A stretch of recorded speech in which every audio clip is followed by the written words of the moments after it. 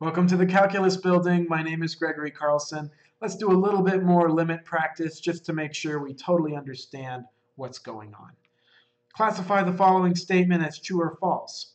Is the limit of x approaches 6 of 7 equal to 6? Okay, let's be careful here. Let's really make sure we understand what's going on. The function in this case, f of x, is equal to 7. And as you know, the graph of a number, the graph of a constant, is just a horizontal line. In fact, this horizontal line is going through the value 7. So it's 7 everywhere. Okay? So this graph is 7 everywhere. So is the limit as x approaches 6? Is that equal to 6? No, it's equal to 7. So this first statement is not true.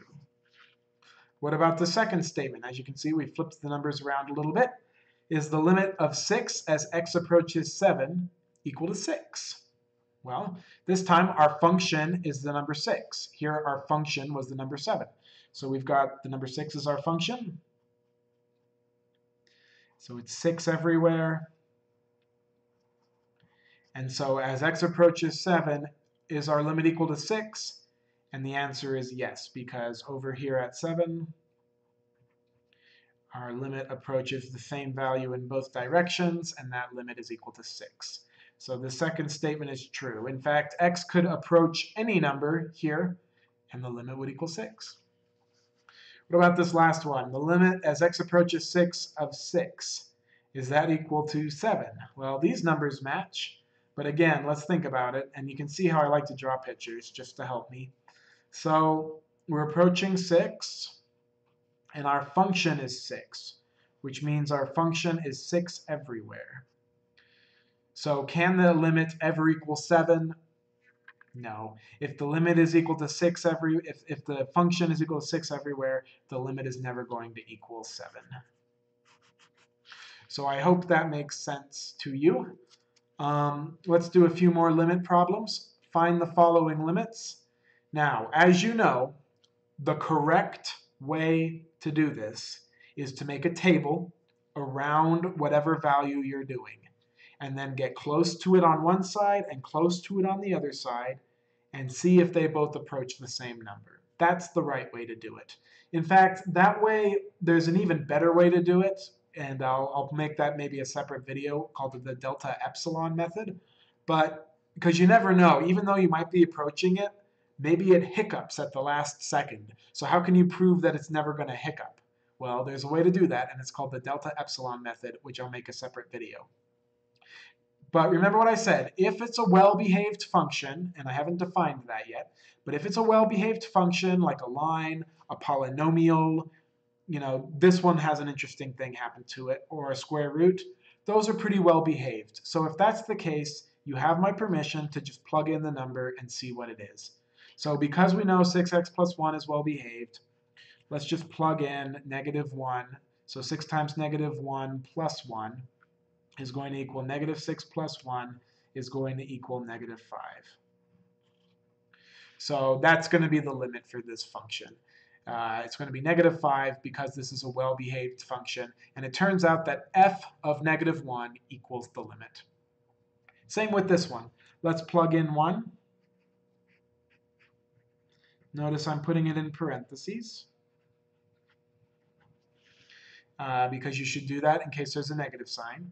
So 5, 1 to any power is equal to 1, so that's just going to be 5 times 1 is 5, minus 7 plus 9. So 5 minus 7 is negative 2, negative 2 plus 9 is 7. So the limit as x approaches 1 of this function, 5x to the 5 minus 7x to the 4 plus 9 that limit is going to equal the value we got, which was negative 2 plus 9, which was 7. So that's acceptable because polynomials are generally well behaved. An interesting thing happens on this example. So what is the limit as x approaches negative 3? Well, that's kind of a problem because if you look, if we plug in negative 3, we get negative 3 plus 3, which is 0. That's not defined. Anything divided by 0 is undefined. So what do we do? Well, there is a rule we're going to learn a little later called the L'Hopital's rule, but until we get there, watch something special happens with this. Do you notice that on the top we have a difference of squares? So if I factor that, I get x minus 3, x plus 3 on the top, and I have x plus 3 on the bottom. Isn't that interesting? In fact, x plus 3 will cancel with x plus 3. So this function is equal to x minus 3 everywhere except negative 3. Okay, this function is equal to x minus 3 ev everywhere except negative 3. And so what that means is I can go ahead and plug in my limit, plug in negative 3, and so we get negative 3 minus 3, which equals negative 6. So I just plugged in my limit right there. So that's a really special example. You are allowed to do that because remember, we don't care what the function is at negative 3. We don't care. We just care about what is it getting approach, what approaches, what the function approaches at negative 3. And so since the function is equal to x minus 3, because this cancels everywhere else, that means it's negative 6. So really quickly, let's just look at what this function would look like on a graph everywhere except negative 3, this function looks like the line x minus 3. So the function goes up like that. It has a slope of 1. It comes down. At negative 3, we have a hole because the function is not defined at negative 3. But everywhere else, it looks like the line x minus 3. So now it's easier to see that we have a limit there.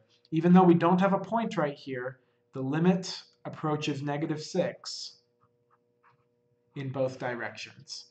And so that's why the limit does exist there at the negative 3. So that's a really important example to understand. That, by the way, is called a removable discontinuity. A removable discontinuity because uh, there's, we could remove the discontinuity by canceling. So this is a different function than this one. This one has a point that's undefined, whereas this one is defined everywhere. So that's a removable discontinuity. Finally, let's find the limit of the square root of 7x minus 1. Again, square roots are well behaved as long as the square root exists.